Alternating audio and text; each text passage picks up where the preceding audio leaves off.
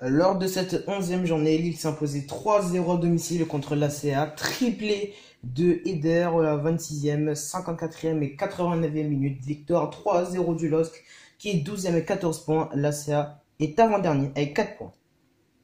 Le FC Nantes se défait 1-0 à domicile du RC Lens dans les arrêts de jeu grâce à Yassine Bamou.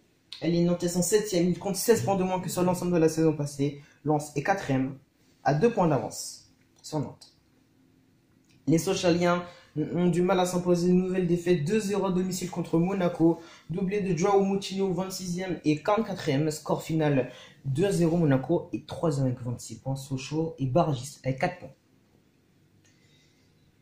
on voit que Saint-Etienne avance. Victoire 3-0. But de Perrin à la 26e. Amouma à la 29e. Avec but de Créteil contre son compte du Galdanien Camboyou en fin de match à la 89e. Score final 3-0. Saint-Etienne est promis avec un point d'avance sur le PSG.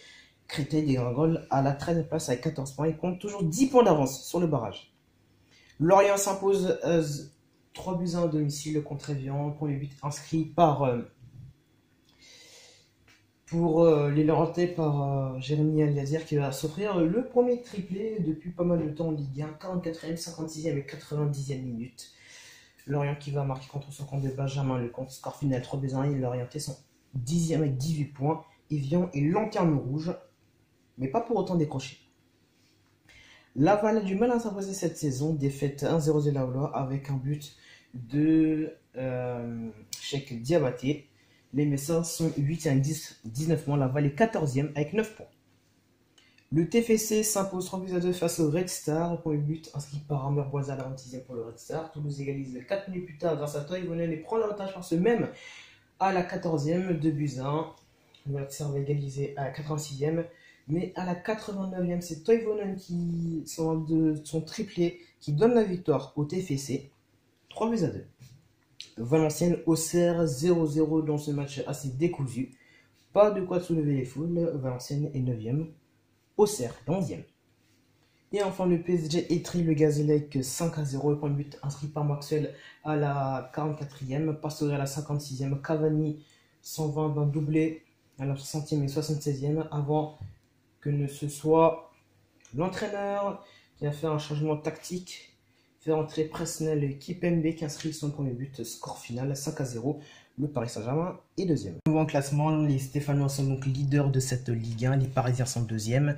Saint-Etienne est leader, Monaco compte 3 points de retard. Guingamp est seul cinquième avec déjà 7 victoires en déjà 12 jours.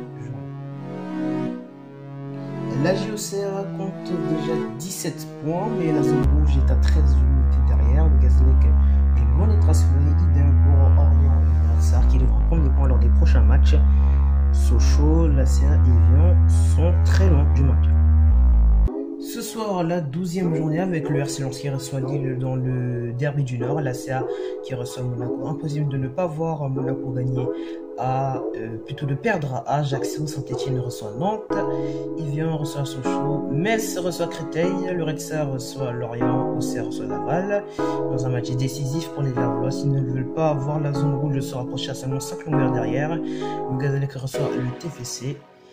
Montaron reçoit Valenciennes et le Paris Saint-Germain reçoit le Lyon. Il y a eu 5 à 0 la semaine dernière pour qui vont sûrement faire justice, se faire justice au Parc des Princes.